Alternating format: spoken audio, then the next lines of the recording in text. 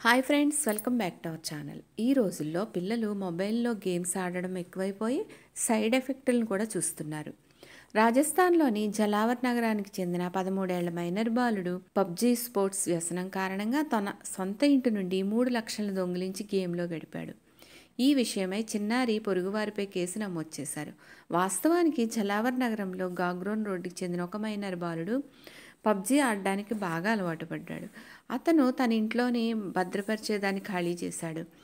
Minor PUBG కోసం మూడు లక్షలు ఖర్చు చేశాడు. పొరుగున ఈ మిత్ర దుకాణం నడుపుతున్న యువకుడు తన కొడుకు వ్యవసాయాన్ని ఉపయోగించుకున్నాడని అతని కుటుంబం చెప్తుంది. ఈ మిత్ర నడుపుతున్న యువకుడు ఇంటి నుండి డబ్బు తీసుకురావాలని మరియు సొంత రిఫరల్ కోడ్ నుండి పరికరాలు కొనుగోలు చేయాలని మైనర్పై ఒత్తిడి తెచ్చేవాడు. డబ్బులు తీసుకురాకపోవడంతో మరుసటి రోజు రెట్టింపు డబ్బులు కా తీసుకురావాలని బెదిరించేవాడు. కుటుంబీకులు కొత్వాలి పోలీస్ స్టేషన్లో కేసు నమోదు చేశారు.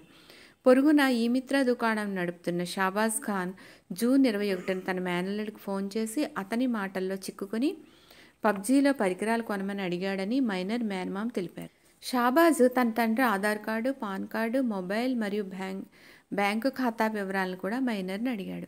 నిందితుడు మైనర్ తండ్రి ఖాతా నుంచి పేటీఎంలో కొత్త ఖాతాను తెరిచి దానికి కొత్త మొబైల్ నెంబర్ని లింక్ చేశాడు.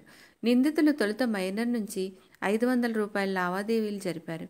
నిందితులు మైనర్ను మోసం చేసి పబ్జీలో తుపాకులు బట్టలు మరియు ఇతర సామాగ్రి కొనుగోలు పేరుతో నిరంతరం డబ్బు ఆర్డర్ చేశారు. డబ్బులు తీసుకురాలేదని నిందితులు మైనర్ను బెదిరించేవారు. గత ఆరు నెలల్లో నిందితులు మైనర్ నుంచి సుమారు మూడు లక్షల రూపాయలు వసూలు చేశారు. ఆ తర్వాత మైనర్ మనస్తాపానికి గురై చిరాకు పడడంతో కుటుంబీకులు అతన్ని గట్టిగా ప్రశ్నించగా చాలా కాలంగా ఇంట్లో ఉన్న డబ్బును దొంగిలించి ఈ మిత్రాకి ఇస్తున్నట్టు తేలింది. దీంతో కుటుంబ సభ్యులు నిందితులపై కేసు నమోదు చేశారు. ఇదే విధంగా పలువురు పిల్లలను మోసం చేసిన నిందితులపై కఠిన చర్యలు తీసుకోవాలని డిమాండ్ చేశారు.